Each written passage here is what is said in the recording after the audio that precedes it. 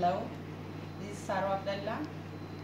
I'm going to provide you video abstract on the study conducted to evaluate diagnostic accuracy of HIV test kits, namely BioELISA and Genscreen.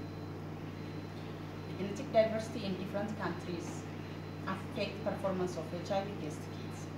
Therefore, the WHO recommends evaluation of every HIV test kits in country's context before its use. This study aimed to evaluate the performance of these two test kits. These two test kits are fourth generation ELISA-based HIV screening and confirmatory test kits.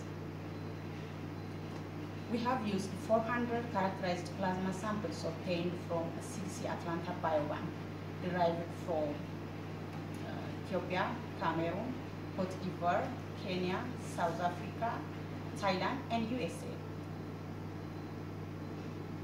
The diagnostic performance of both the test kits under evaluation were assessed at 95% confidence interval.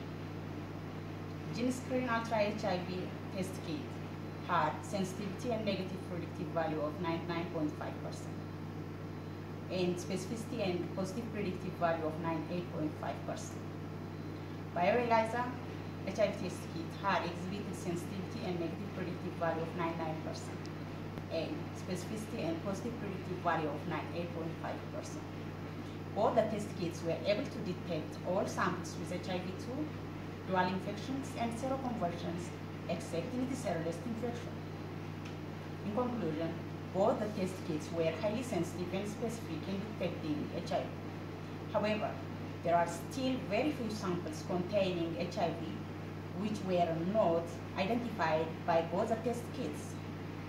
Cautions or additional screening measurements should be done where used for blood transfusion and organ transplantation. Thank you for watching.